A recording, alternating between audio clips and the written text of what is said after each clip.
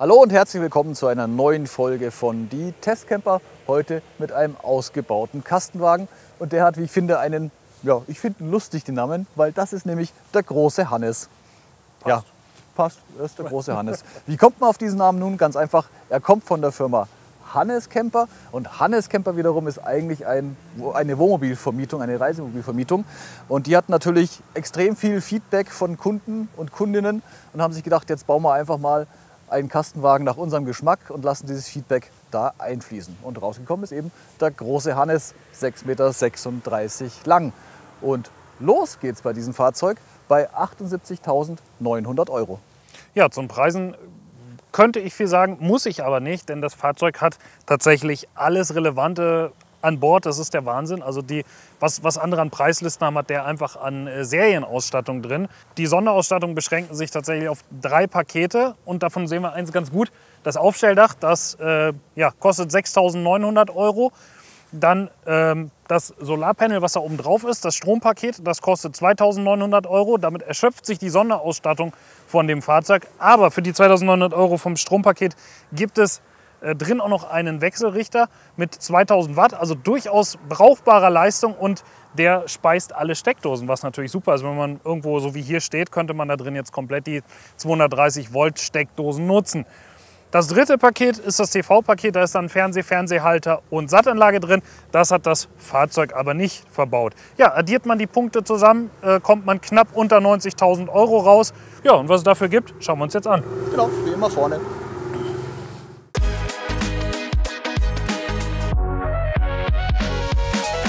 Der große Hannes basiert, wie man unschwer erkennen kann, auf dem Citroën Jumper mit serienmäßig 165 PS.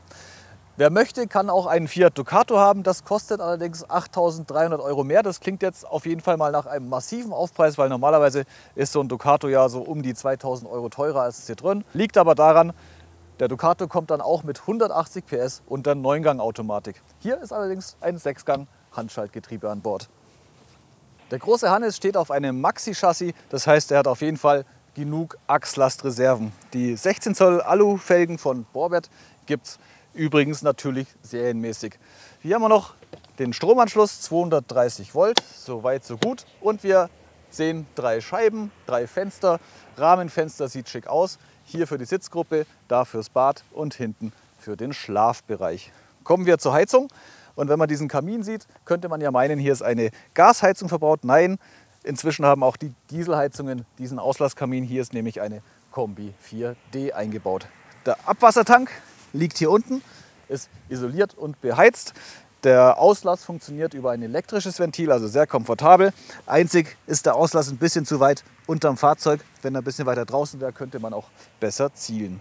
So, auf zu meinem Steckenpferd, dem Toilettenschacht. Da bin ich jetzt sehr gespannt wird magnetisch offen gehalten, was schon mal sehr gut ist. Das heißt, man hat beide Hände frei, um mit der Kassette zu hantieren. Und siehe da, dieser Schacht ist schön abgedichtet. Da hat Hannes Kemper wohl auf Kundenfeedback gehört oder auch schlechte Erfahrungen gemacht mit anderen Fahrzeugen, als es dann da drin rumgesuppt ist. Auf jeden Fall sehr lobenswert. Einen Punkt habe ich hier auf der Seite noch. Das ist hier die Außendusche. So, oh, die Klappe geht etwas schwer auf, aber Warmwasser, Kaltwasser, serienmäßig alles da. Kann man mal Hund, Katze, Maus, Fahrrad oder sich selbst schnell mal abduschen. Das war's von der Seite. Philipp zeigt euch das Heck.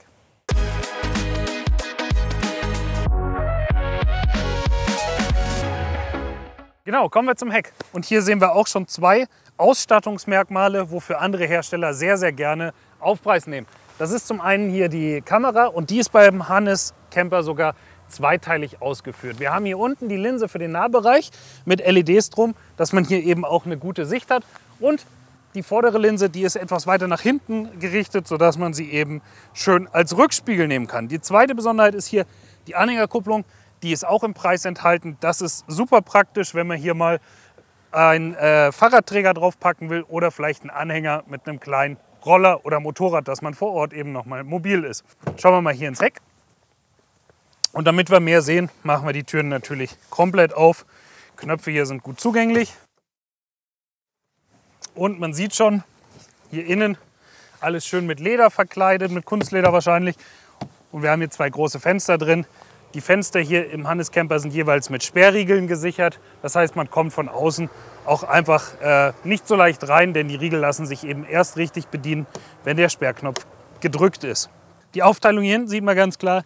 Großer Stauraum in der Mitte. Hier kommen Tische, Stühle etc. kann man hier reinlegen.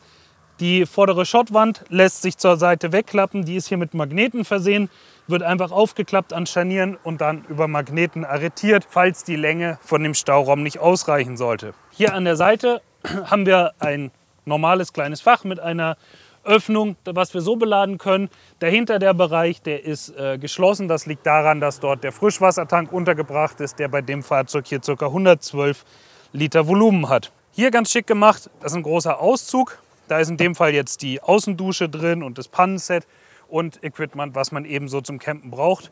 Aber das ist natürlich schick gelöst hier auch nochmal mit dem Schriftzug. Die Gasflaschen, die sind hier hinter der Klappe. Das ist natürlich relativ schwierig zum Einladen, denn 11 Kilo Flaschen passen hier wirklich nicht gut durch. Ist natürlich Quatsch. Die Gasflaschen werden hier über die äh, Klappe oberhalb beladen. Dafür muss allerdings das Lattenrost raus, was demnach auch ein kleiner Kritikpunkt ist, denn man muss die Matratzen auf Seite tun. Die Lattenroste lassen sich hier einzeln bewegen und entnehmen und dann kommt man hier an die Klappe zum Flaschentausch. Relativierend muss man natürlich sagen, man wird sehr, sehr lange hinkommen mit dem Gas, denn wir haben ja schon gesagt, es ist eine Dieselheizung an Bord. Das heißt, zum Heizen wird hier eben Diesel und kein Gas gebraucht. Das Bett selbst haben wir schon ein Stück weit gesehen, liegt hier so auf gefederten Holzlatten. Ähm, die Matratzen sind sehr bequem, ich habe da eben schon mal drin gelegen gefällt mir. Und man kann eben zum Beladen oder um es sich gemütlich zu machen, sowohl das Kopf als auch das Fußende von diesem Teil hier aufstellen.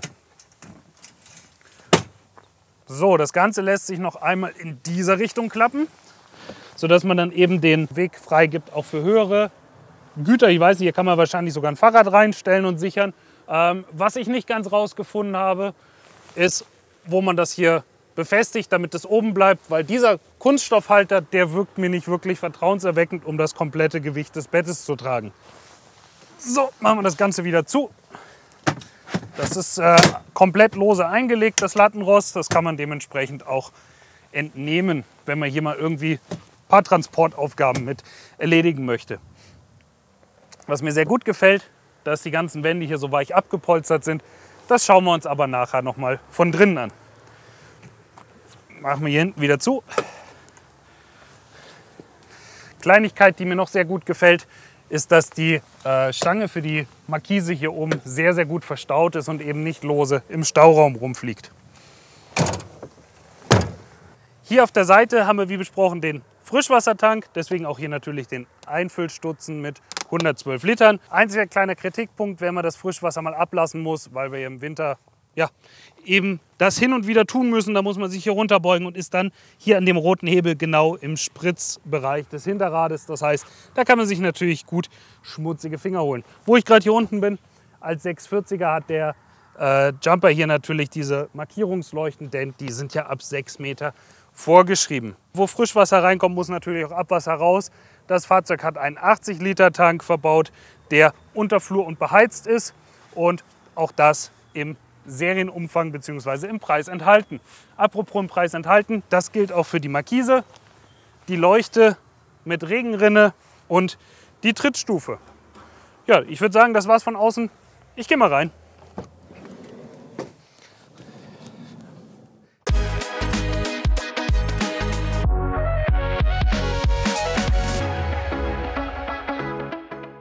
Ich habe Platz genommen in der Sitzgruppe. Das ist eine klassische Halbdinette, wie jetzt in den meisten Campingbussen üblich. Wobei so ganz üblich ist es dann auch wieder nicht. Wir haben ja nämlich schöne stoffverkleidete Seitenwände. Das sieht so ein bisschen aus wie der Dachhimmel in einem PKW. Und dieser Tisch, der an der Wand eingehängt ist, ist jetzt auch kein üblicher Holztisch, sondern er ist aus einem Leichtbaumaterial, wie übrigens alles hier im Fahrzeug. Das zeige ich euch nachher nochmal genauer. Angeblich soll der gesamte Innenausbau laut Hannes Camper rund 200 Kilo leichter sein wie ein herkömmlicher Holzaufbau. Interessant. Also man merkt zumindest schon mal, wenn man den Tisch hier anhebt, hier seht ihr nochmal die Dreh, äh, die Dreherweiterung, dass man auch von dem Sitz gut rankommt. Wenn er fixiert ist, steht er auch echt stabil für so einen eingehängten Tisch. Da gibt es nicht viel zu meckern, zumal er ja wie gesagt aus einem Leichtbaumaterial ist, was man dann auch spürt, wenn man ihn hier rausnimmt, ich lege mal kurz hier rüber, also er ist auf jeden Fall spürbar leichter als ein herkömmlicher Tisch. Man kann dieses Tischbein rausnehmen und kann ihn dann hier unten tiefer einhängen und sich dann hier noch ein kleines Gästebett für Kinder, Enkel etc. zusammenbauen. Was haben wir noch? Auch ungewöhnlich. Wir haben eine kombinierte USB-C und normale USB-Dose und eine 230 Volt Dose. Warme Luft kommt hier raus.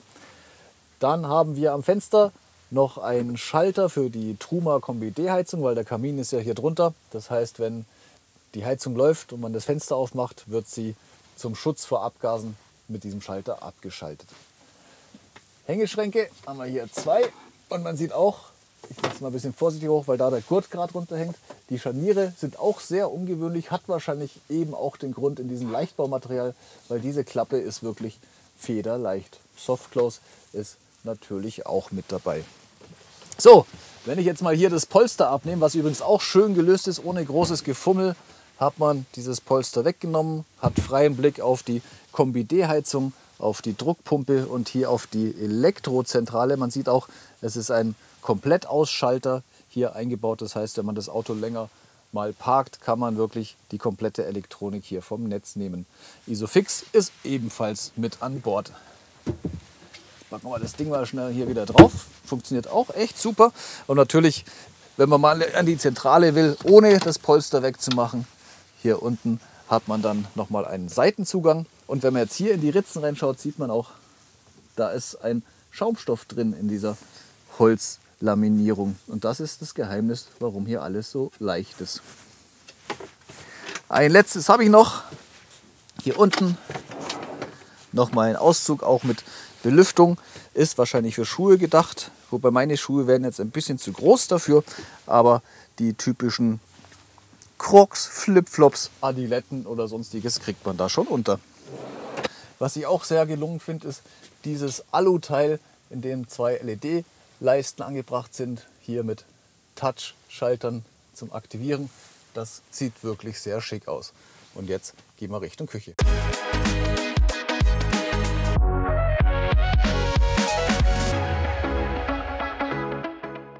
Hier über der Eingangstür sehen wir den Batteriecomputer, das Control Panel.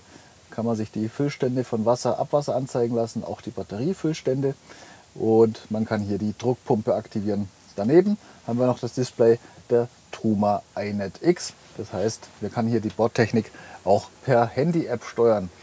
Und das Gute ist, wenn es hier mal Fehlermeldungen gibt, dann stehen die hier nicht in kryptischen Codes dran, wie W516, sondern dann steht einfach hier dran, Gas ist alle. Das ist sehr schön, auch tatsächlich serienmäßig. Dann kommen wir zur Küche. Die beginnt hier vorne am Kühlschrank.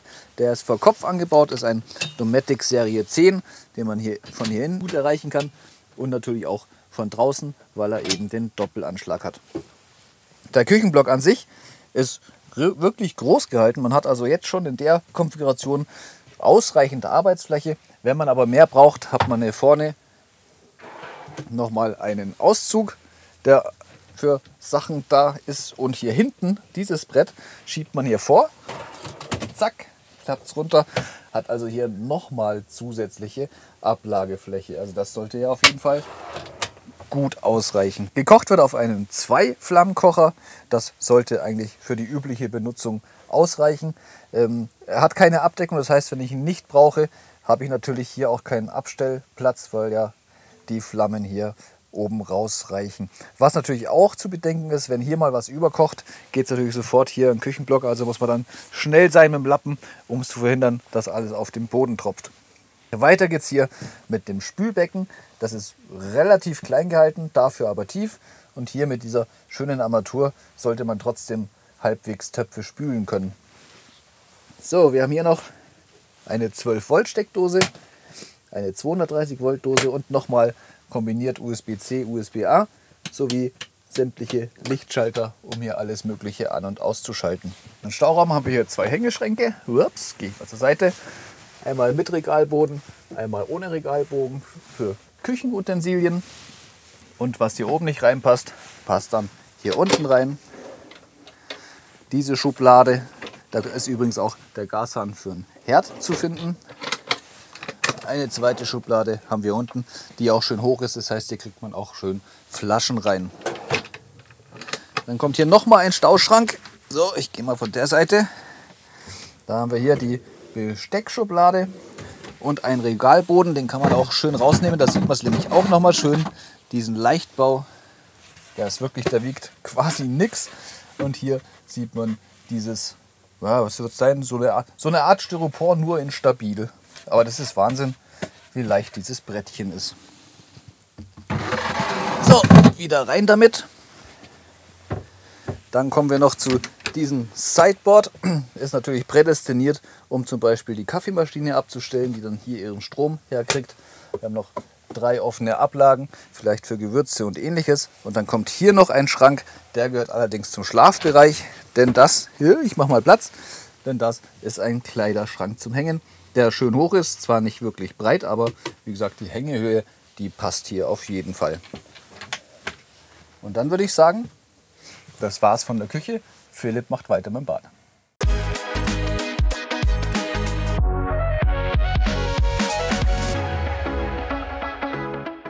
Ich habe hier schon mal im Bad Platz genommen und das ist natürlich Gastenwagen typisch eng. Wobei hier auf der Toilette reicht der Platz gerade so. Das einzige Anlehnen ist schlecht, man hat hier immer die eine der beiden äh, Handtuchstangen am Hinterkopf.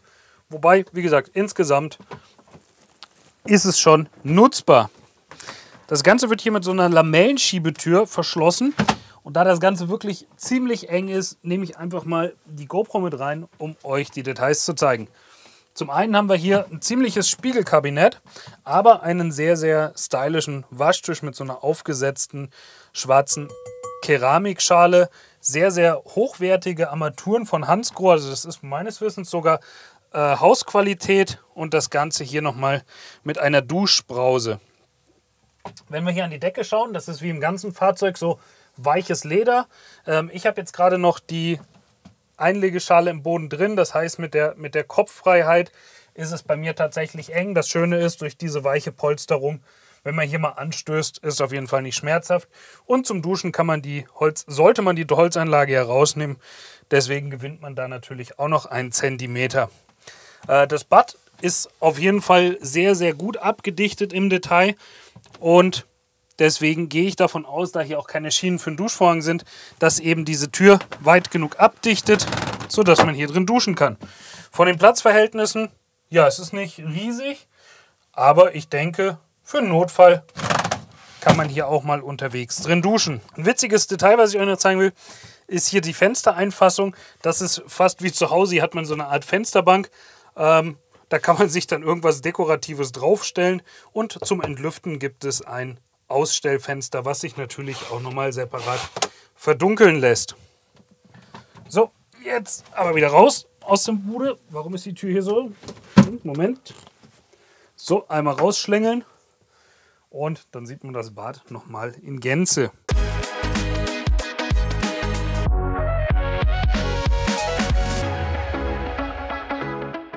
Das Bett vom großen Hannes ist hier im Heck untergebracht, beziehungsweise bei dem Testwagen das erste Bett ist hier im Heck untergebracht. Und es handelt sich um ein ja, Quer- oder Längsbett. Da haben wir gerade noch mal ein bisschen drüber diskutiert, weil die Angaben sind 1,90 auf 1,87. Ich bin 1,87. Äh, es ist in beide Richtungen eng, aber machbar. Ich zeige es mal kurz. Also ich kann hier sowohl quer mit äh, leichtem Kontakt zu, zu, den Wänden schlafen, als auch längs passe ich hier gut rein. Das heißt, das Ganze kann ich eben tagesformabhängig wählen. Hier habe ich natürlich den Vorteil, den Blick in den Sternenhimmel und dafür, dass es ein Längsbett ist, spricht auch, dass man hier eben zum Lesen oder Ähnlichem die Kopf, das Kopfteil aufstellen kann und sich dann hier gemütlich machen kann. Stauraum haben wir hier in offener Form. Da wird die Ladung dann mit solchen Spanngummis gesichert. Das sieht sehr, sehr ansprechend aus, auch von der Form her. Ähm, und hier auf der anderen Seite haben wir eben drei äh, Dachschränke, die mit einem Riegel sicher einrasten und dann eben auch gesichert äh, sicher zuhalten.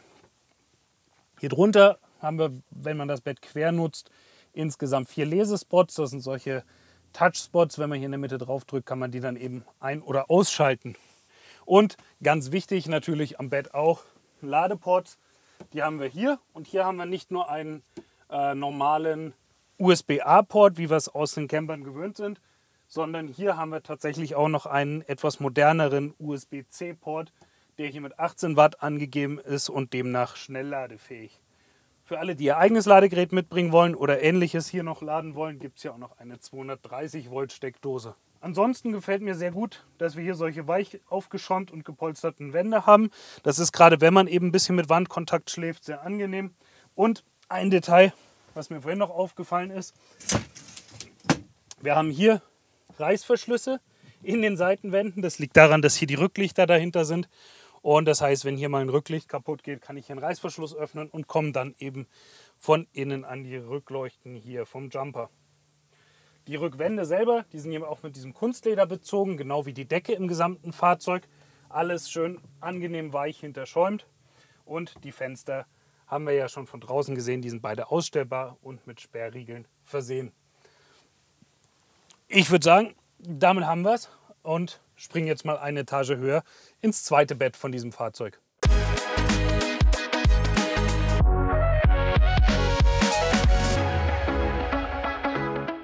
Ein kleiner Kritikpunkt hier am Hannes Camper ist der Aufstieg ins Dachbett. Denn es gibt hier diese schicke und leichte Teleskopleiter, aber es gibt nicht wirklich einen festen Platz für sie. Wir haben sie jetzt im Testwagen meistens während der Fahrt unter der Matratze gehabt. Und der nächste Punkt ist, man kriegt sie hier zwar wunderbar ausgefahren und arretiert, aber es ist natürlich keine Einhängeleiter. Das heißt, sie steht hier immer irgendwie komisch zwischen den Scharnieren und steht auch nicht wirklich fest. Das heißt, hier muss man wirklich aufpassen, dass man hier mit der Leiter nicht irgendwo den Abflug macht. Ich meine, weit geht es nicht, es geht bis hier, es reicht aber, dass einen die Leiter hier nach hinten abwirft. Ja, darüber geht es dann hier hoch ins Aufstelldach. Eine Etage höher ist die Liegefläche 1,30 Meter breit und ganze 2 Meter lang. Das heißt, man hat in der Länge natürlich schon noch mal etwas mehr Platz. Die Dachschale ist hier mit zwei Lampen versehen, die sich hier per Touch aktivieren lassen. Einem, eine Anzeige, die sich leider, ich habe nicht hinbekommen, sie auszuschalten, aber man kann sich hier verschiedene Werte anzeigen lassen, unter anderem auch die Temperatur. Hier steht jetzt die Sonne drauf und trotz ja, kühler Außentemperaturen haben wir hier oben gerade 19,3 Grad. Ähm, auf der rechten Seite, in Fahrtrichtung rechten Seite, haben wir hier ein wetterfestes Fenster. Da kommt dann schön Licht rein, wenn es regnet, ist man hier eben trotzdem wettergeschützt. Auf der Fahrtrichtung linken Seite das Ganze nochmal mit einem Moskitonetz. Das sorgt dann gleichzeitig für Belüftung. Und das Hauptfenster ist hier vor Kopf. Das heißt, man hat auch vorne vom Fahrzeug aus nochmal eine tolle Sicht. An Ausstattung haben wir weiterhin hier noch zwei Einhängenetze. Hier hinten noch so ein Einschub, wo man dann zum Beispiel die äh, Nachtlektüre unterbringen kann. Hier vorne gibt es hier ein Cupholder pro Bettseite, ein USB-Port mit, mit zwei Ladeanschlüssen. Der ist auch auf jeder Seite vorhanden und weiter vorne nochmal zwei Ablageschalen, wo dann eben perfekt das Handy reinpasst. Ein Detail, was mir auch sehr gut gefällt an dem Fahrzeug, ist, dass man hier den ganzen Stoffbalk mit Reißverschlüssen raustrennen kann. Das heißt, wenn man hier tatsächlich mal ja, im Hochsommer im Freien schlafen will, kann man eben den Stoffbalk mit dem Reißverschluss einmal rausnehmen, dann fällt er runter und man liegt hier oben grundsätzlich im Freien, hat aber eben noch das schützende Dach über sich. Also sehr, sehr feine Sache. Ist natürlich äh, in puncto Gewicht ein Faktor, das muss man sich vorher gut überlegen. Und bei den Kosten kostet der Spaß hier oben eben auch nochmal 6.900 Euro on top. Das muss dann jeder individuell überlegen, ob er das nutzt und ob er das braucht. Ich würde sagen, jetzt haben wir alles gesehen. Es wird Zeit für ein Fazit.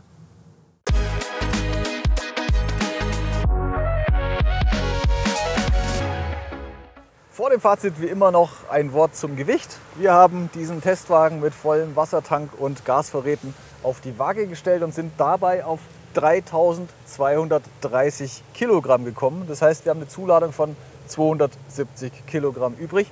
Und damit wird auch schnell klar, wenn man dieses Fahrzeug wirklich zu viert nutzen möchte, wird es schon echt eng mit dreieinhalb Tonnen. Also da muss man dann vielleicht noch eine Tüte Chips und eine Flasche Wasser. Ich glaube, viel mehr kann man dann nicht mehr mitnehmen, wenn man zu viert ja. unterwegs ist. Boardcase. Board, Boardcase, genau.